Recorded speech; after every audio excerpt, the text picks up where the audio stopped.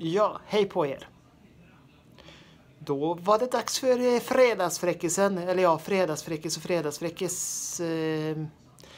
Ja, eftersom jag inte har hittat någon att läsa upp så tänkte jag faktiskt eh, dra en jag har hört. Och det som ni undrar i bakgrunden så är det faktiskt bara eh, tvn i bakgrunden. Ja, i alla fall, det var tre kärringar som åkte buss. Eh, och det var på kvällen, sent på kvällen.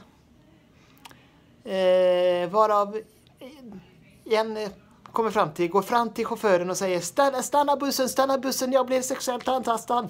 Där bak, snälla stanna bussen.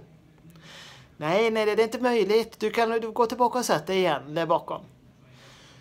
Fem minuter senare kommer andra kärringen och säger stanna bussen, jag blir antastad och det, det hjälper inte att jag flyttar mig för att de, det, jag blir fortfarande antastad. Det, det är något där bak. Då stannar bussen. Ja, kvart senare kommer tredje kärringen ut och säger stanna bussen, jag blir sexuellt trakasserad där nere. Vi tre blir sexuellt trakasserade där nere. Trakasserade där nere för Nej, nej, nej, nej, det kan inte vara möjligt. Så, men så fort vi hittar ett ställe att stanna på så ska vi stanna. Så ska jag gå ner och titta. Och han hittade ju ett ställe att stanna på. Och gick ner och började leta och började gå ner då mot eh, där de tre kärringarna satt då.